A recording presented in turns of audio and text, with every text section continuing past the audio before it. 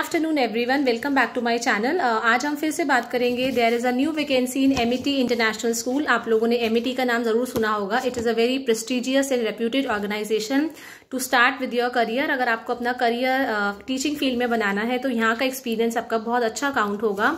तो यहाँ पे जो वैकेंसीज है it is for the post of teaching also and non teaching also तो मेरे पास रिक्वेस्ट थी कि मेरे को नॉन टीचिंग की और टीचिंग की दोनों हमें वैकेंसीज बताएँ।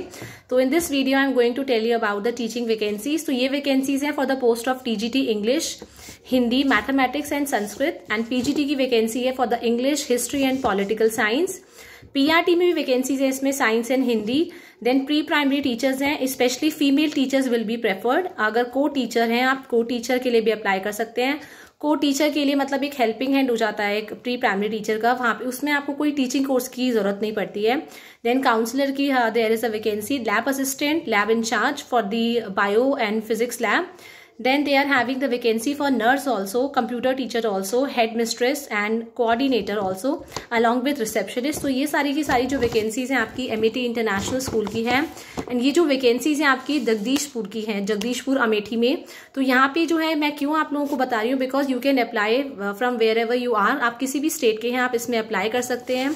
आपको वहाँ पे जाने की ज़रूरत नहीं, सबसे बड़ी बात, अगर आप किसी और स्टेट से भी हैं, वहाँ के नहीं है तो आप कहीं और से भी अप्लाई कर सकते हैं। एंड आप अगर सेम स्टेट से हैं, तब आप बाय पोस्ट बाय हैंड भी दे सकते हैं।